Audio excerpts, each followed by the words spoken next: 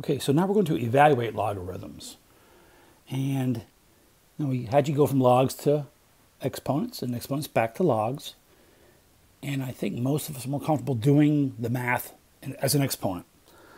So we'll convert these logs to an exponent and then you know just do the math to figure out the answer. So this is base 4. Uh, you don't know what the exponent is because again these are written like this equals x equals x for all these. I'm not going to write all those but you get the gist. And so 4 to what power equals 64? Well 4 squared is 16 but 4 times 4 times 4 is 64 so that's three of them so x equals 3. Next one. Actually, yeah, we'll, we'll do all these, I guess. So base 5 to what power equals 0.2? Now, this is decimal. Uh, 0.2, 0.2 can also be written as 1 fifth. So uh, let me just write that for you here, and that should make it a lot easier to see as well. 1 over 5. So what exponent to 5 brings that 5 down to the denominator? Well, of course, it has to be a negative. And, and it's, you know, the 5 is just being a 5. So x will here will be negative 1. So again, if you're struggling yet, 5 to the negative 1 power equals 1 over 5. Okay. All right, so more fractions here.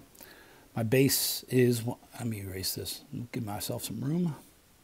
So 1 fifth my base.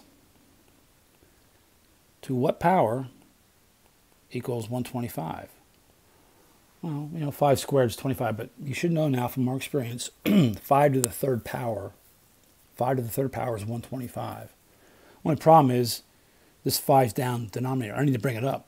So I'll, I'll apply a negative to it. So x then will be a negative 3.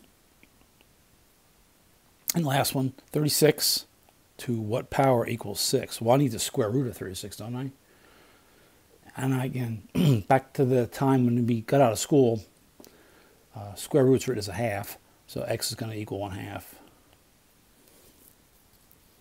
All right, so let's see what we got here to work on for evaluations. Yeah, there's plenty here for evaluating here.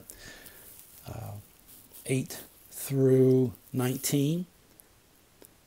Um, trying to think if there's anything else I should do with these. Let me try one more here for you to help you out. um, for instance, look at number 12. You know, 9 to what power equals 1? Anything to the 0 power is 1, so x equals 0. Try one with a fraction here for you. 1 half um, to what power equals 8? Well, we know 2 to the third power will get me that 8, right? But it's downstairs. i got to bring it up. So I'm going to make x equal negative 3. Uh, one more fraction for you. Um, so this is base 3 to what power equals 1 over 27. Again, hopefully from our past work, 3 to the third power gets you 27, but now we have to get it down to the denominator. So instead of it being x equals 3, x should be a negative 3 to drive it down. Okay, so yeah, those for homework. And also, on the homework page here, we're going to give you some of these to evaluate 7 through 12.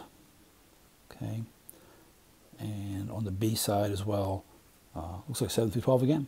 All right, folks, have fun.